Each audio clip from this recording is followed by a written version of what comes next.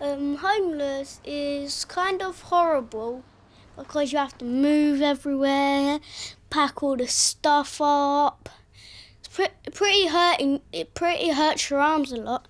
And like when you move about, it it there's agony and everything. So homeless is just like it's like how can I put it? Hold on. Shane, turn off my game. Homeless is being like losing a football match or betting all your money on just one doggy, and the doggy loses the doggy race, and you lost all your money, and then you're completely broke. You lose your home. You have all your stuff put in storage. You have to scavenge around for money. So you'd like to be sofa surfers, yeah? Yeah. Yeah, sofa surfers. But how can you? s- how can It's a figure of speech. Figure of speech. Oh, because you can't really surf on sofas because they sink. Figure of speech.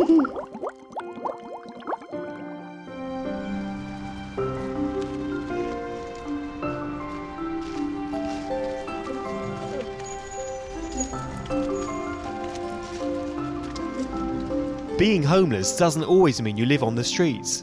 For this homeless family, it means moving from one house to the next. Mum is collecting Shane and Carl from school to start the long journey home. What are you doing over there? Stay there. What are you doing going over to there? I don't care. Give me your hands. Single mum Billy Joe spends nearly three hours a day travelling from their flat to the school over six miles away. The travelling is a big part of their day. It's really hard because it takes us almost an hour and 35 minutes just to get there. And by the time we're there, we're already exhausted. So we don't function right um, to do our work. So we have to have a big bowl of cereal to keep us going all day till lunchtime. Come on then. By the time we get home, it's, it's already dark.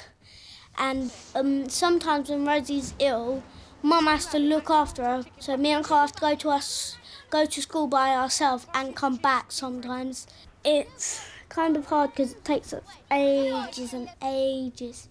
Their small flat in South London is the fourth home they have had in just four months. This is called emergency accommodation.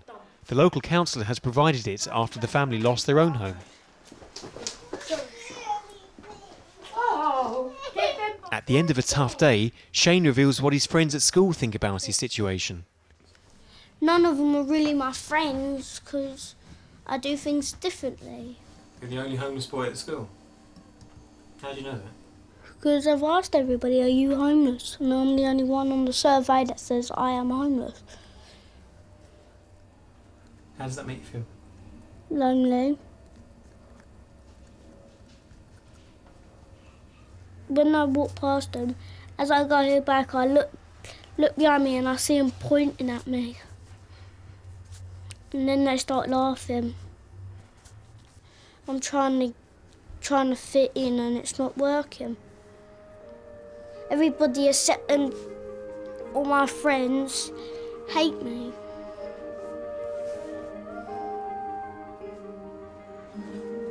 Shane lives with his mum, brother, and two sisters. This flat is so small, Shane is having to share a bed with his brother. Carl is 10 and downstairs is Ronnie, known as Ronnie Roo-Roos or Rocket Ronnie, because she speeds a lot. She's so fast when she crawls because she tries to exit for the door. And Rosie is four, she goes to the same school as me. I've asked Shane to keep a video diary with a little help from Carl and Rosie. It's been very hard for me today because it's kind of hard being homeless. Everything, everybody saying, "Oh, you're homeless. You're homeless." I'm sick and tired. When the family lost their own home, all of their furniture and belongings were put into storage. They have to make do with what is in this flat, so bedtimes can be an obstacle course.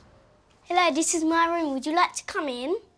Um, that's my big cupboard, which I can't open really because it's full of clothes, and it's full of old bags. Um, I have a window that sometimes opens up by itself, and here is the cupboard when we moved in. As you can see, it's broken. The bed's broke, and they've put loads and loads of planks of wood under it. And as you can see, there's there's a broken bit of wood. I've put this there to stop it going under. When I got on the bed, before I put that under it, I sat on it and I almost went through it. It's quite hard to cope with. Oh, this mattress is heavy. That that bit's a bit too dangerous because when I fell asleep, I whacked my knee off it and my knee got trapped in it. So Mum said go sleep in Rosie's room. Shane and his family have only been here a couple of weeks and they have been told by the council they may have to move again. Um, but we're moving to Belvedere and I think it's going to be great because they promised it's going to be a house and it's going to give me some space to run around and play. They have moved into their new house. It's the fifth move in five months. Belvedere is right on the outskirts of London where they have no friends or family. They are nearer to their school, but with the disruption of moving house, they're running late for the bus. It's five past eight. Get ready. Sort yourselves out, kids. Okay. With two cereal bowls to share between the five of them, breakfast is chaotic. For four year old Rosie, it's a bit too much. I don't really want to get up because every time we have to get dressed, when I'm tired, I can't go to sleep at school because I'm not allowed. So I'm going to stay home f- forever. The school run is tiring for everybody. So far, Mum has been up since four in the morning, and they still have hours of journey ahead of them. 229. Right. Two. Love ya. Come on. Watch your Being older, Carl goes to a different school to Shane and Rosie. Shane is still fitting in at his school, but being homeless has affected his behaviour and how many friends he has. He thinks he might not have as many friends as he should. Don't get yourself into trouble, Shane. So who are your friends? Um, these are the friends that actually care about me. There's Reese B, there's Reese P, um, Ben, Lee, Victor, Iffy, um. Abraham, Sophie, Samantha, and Vivian. You've got loads of friends. That's only 10 out of 40. The family have only been in their new house for a week, and they are discovering it is far from perfect. This is our front room. It's divided into two parts. The front front room and the front back room. The only thing good about this is that it's big and there ain't no doors, but it's bad because the door frames are concrete, not wood. This is the kitchen where my mum is making a delicious shepherd's pie and you've got the what we call the leaky washing machine. You've got the fridge where all the mice ran out from. You've got you've got the Careful, careful, because the oven's on, oven oven that there's nothing wrong about the oven. This is my Shane's room, yeah? This is my bouncy bed. Boy, boy, this is Shane's hardest. Ah, ah.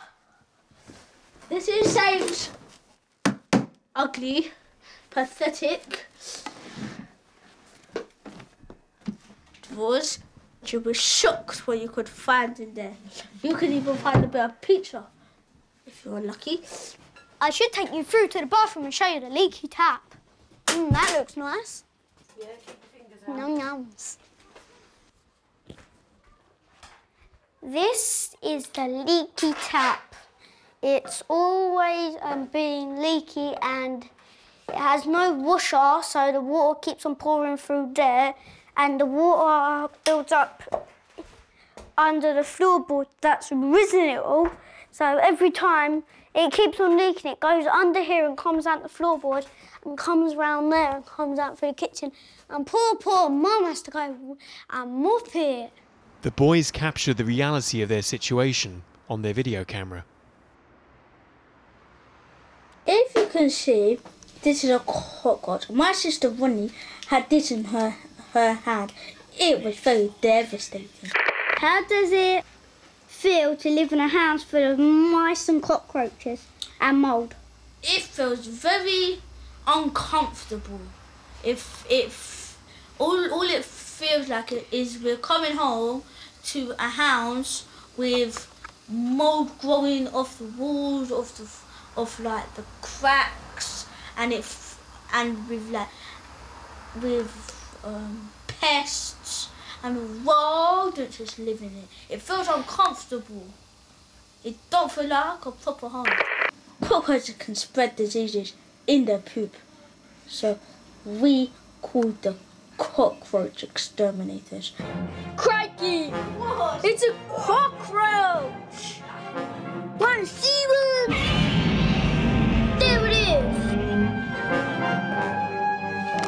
Cockroaches are dangerous. They lay poop. And I'm gonna have to take drastic measures by squishing it. Yeah, run, little creature! Yeah, you little cockroach! Sue the builders! Sue the government! Sue everybody! Even though they are homeless, Shane and Carl still have to do as they are told at home, as Mum makes her rules clear. We've been having arguments. So we're in lockdown. That's why we're in lockdown because we have too many arguments and speak to mum. The way you two are with each other, you're supposed to be brothers. And you're fighting each other, and there's enough people in this world that want to fight you. You don't fight each other. It's gonna be in a Uh, about 10 minutes ago. How? We sometimes like each other, then other times we hate each other. It's called disagreeing. Oh, is Yeah, it? where we slap each other around the face. Oh, the- yeah, that, well, that sounds like a disagreement. A No, disagreement that's, in just, my that's not No, funny. That's first one to slap each other. We slap each other. Which one's the hardest wins? What have you got? Nothing. I'm bankrupt. I'm not bankrupt, I got all my money taken away. Because I did have two £10 notes and I had a £1 coin in there. Where's it gone? Mum took it because it's on hold. Um, because I'm on lockdown because I don't speak to my mum the right way I should. She says it ain't what I say, it's the tone of my voice. How can you watch? Alvin and the Chipmunks. Who are you shouting at? wait. Who are you shouting at? How can you play DS and watch telly? I'm not watching the telly. Well, let her have the DVD she wants to watch then. I am. When they start appreciating what they've got and everything that they have done for them, We have. Lockdown means no no computers except from this boring blue game that I got from Poundland called the Brick Game. And lockdown means I can't have no treats, no staying up late. And that's what um, mum says if I mouth to my mum. And that's what mum said that what should every pa- parent should do to their child if they're being like mouthy. just being spoke to like I'm a bit of dirt. I don't speak to you like you're and big. listen, dirt. listen to the way you're talking to me She now. says it doesn't matter what you say, it's the tone of your voice. Exactly. It's not what you say, it's the way you say it. Your life is so harsh. Well, mummy gonna show you harsh. It's hard life, isn't it? No. You just sound like just like my mum when she says that. Except she said you want a number for Childline. Nanny. Despite his bad behaviour towards his mum, Shane does not want to make life any harder for her than it already is. I've got a happy life here, but I don't want to be moved away from my mum because I love her. Because I remember when I was little, my mum told me about this. I said I wanted to marry my mum. But mum kept on saying I can't. Well, if I could, I would. What, why is everybody looking at me for?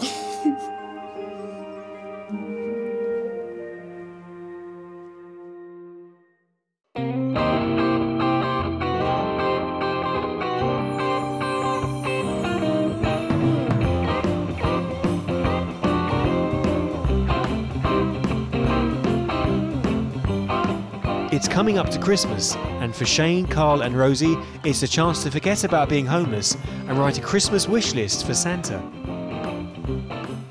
I'm gonna get Cinderella and a Cinderella dress and a Sleeping Beauty dress. a game. Um, it's called Pokemon Rangers. And the first thing I want for Christmas is a mute button and a mute control for Ronnie. More toys like action figures. Slovene, the Doctor Who thing. A Ben 10 Omnitrix watch. And a Tinkerbell dress A bike. and a Sleeping Beauty bed. But with less than a week to Christmas, Mum hasn't got anything to spend as she's waiting for her benefits money to arrive. It is stressful because you don't know whether you're going to be able to get everything and if is the is it to clear and it's just like and the kids are like I want this and I want that and we'll have to wait and see. All of the family's furniture is in storage from when they first moved. They have been told they cannot collect any of it. This includes their Christmas tree. But Mum has a good idea, and the boys capture it on the video camera.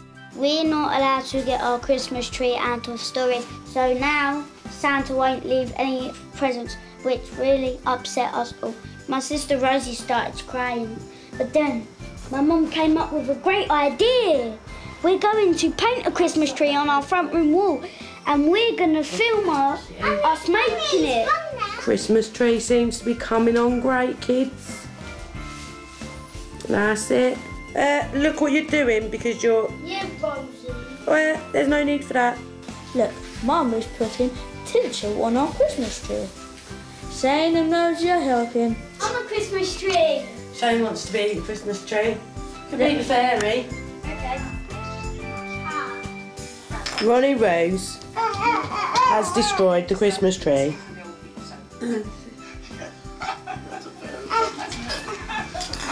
I think we're gonna have to make it again. Look at that white tinsel. It will bring out the real shine in the Christmas tree. This is the Christmas tree that we made. A Bit crowdy, but who cares? At least it's a Christmas tree. The tree did the job. They might not have got everything on their list, but there were presents on Christmas Day. It was fun because Ronnie Roo's got loads of toys, and we got loads of toys. I got a new DS game, so did Carl. But for everyone to get some toys, Mum had to make some sacrifices. So, and do you think Mum had a good Christmas? Yeah, but she didn't get nothing. She didn't get nothing. What Mum really wanted for Christmas was a permanent home for the family, but with another temporary move on the horizon, their dream is still some way off. I'm doing fine with it, but Mum's really ain't coping because she's been crying as you as you've heard. What three things would you like Mummy to have? I would like her to have a new perfect house. Um, a happy life. Make her get all the money in the world and make it split with me. and a new new dad and a new and a new kitchen floor.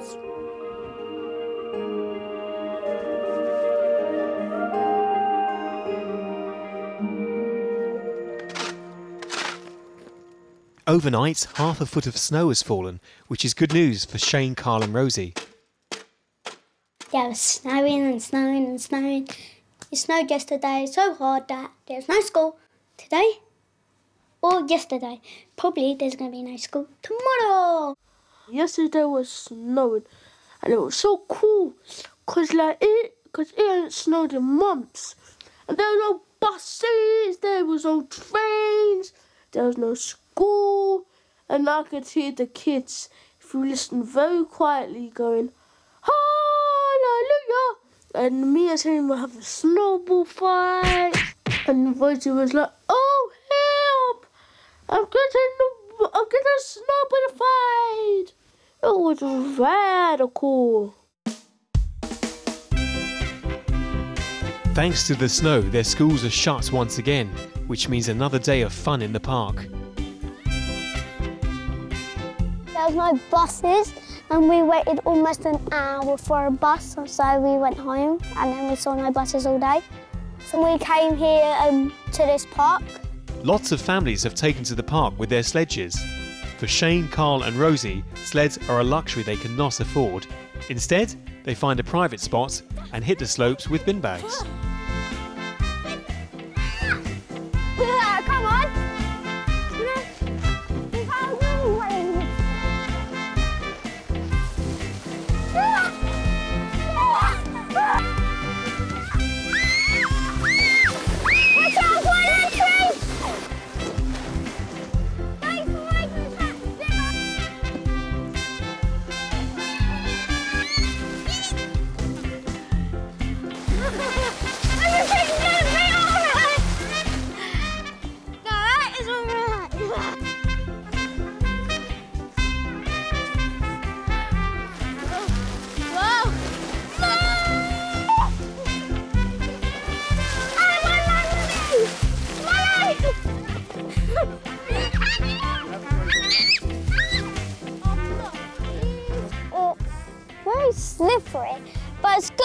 Slippery because you can speed along it. I'm going! They are the only ones in the park using bin bags for sleds, but this hasn't stopped the fun.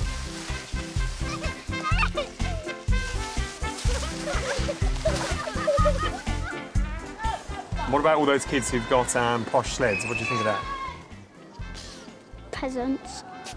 Do you feel a bit left out because you've got a bin bag? No, they should be using bin bags. But them peasants with plastic things. Blech. Look at them.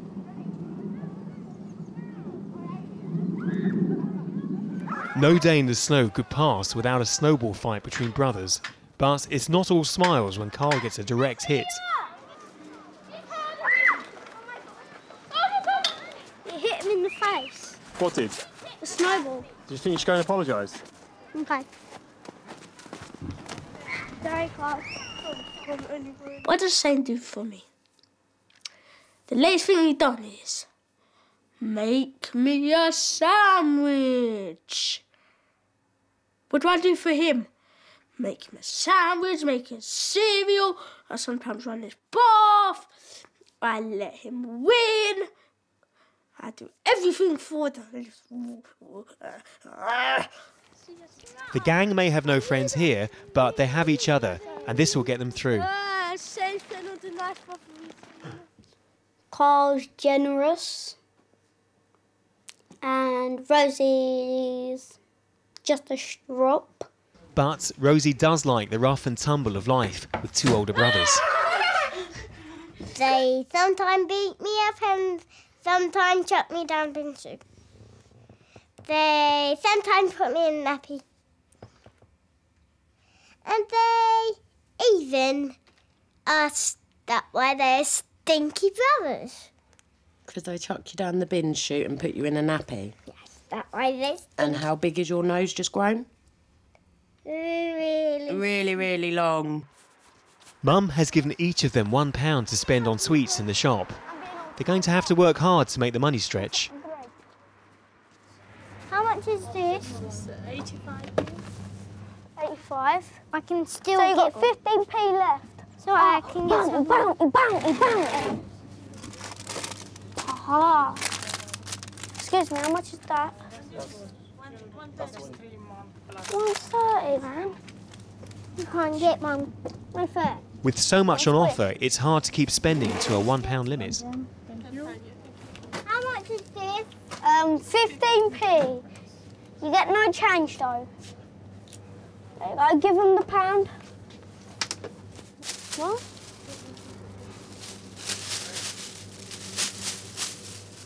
The family make the best of their situation, whatever the conditions, but already another move is right around the corner. How many moves has that been for you in the last year? Four. Five? Five. I can't remember them all. I know we moved from Abbeywood, no, Erith to Abbeywood. Um, And then we go into Thamesmead. And then we go into Dexford. And then we go into Belvedere. So how many has that been? um, five, In what period of time? six months. That's a lot of moving in six months. And you think you might be having another move? It might be one more emergency accommodation, or it might be a permanent. But no matter how much they hope for a permanent home, nothing is certain. Do you worry that you might be homeless when you're older? No, I have my life all worked out. I dumped my girlfriend at the age of 16. Um, I get a job. I buy a dog. A puppy dog, though. Uh, I live in a house. Cruising away. And nobody can visit. Do you think you might be homeless when you grow up? No, Why not?